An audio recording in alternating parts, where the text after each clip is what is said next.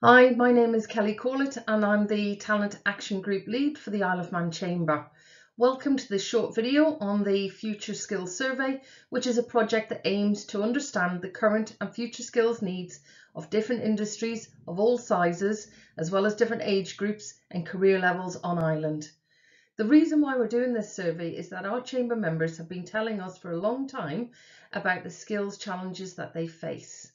The survey is designed to collect valuable information from employers, employees, educators and other stakeholders on the skills gaps, challenges and opportunities that are faced in your sectors. The data from the survey will help us to identify the most in-demand skills, the emerging trends and to help develop best practice for skills development and training on island.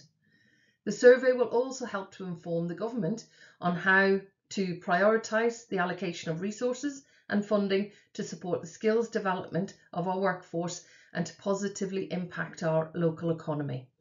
So by participating in the survey, you will have a voice in shaping the future of your industry and career. This short survey will take about five minutes to complete and is absolutely confidential. All you need to do is click on the link on screen or scan the QR code on your phone. We will publish a report with the key findings and recommendations from the survey September, October time. We appreciate your time and input to this important project. Your feedback will make a difference, not just for yourself, but your industry and our island. And on behalf of the Isle of Man Chamber, thank you for participating.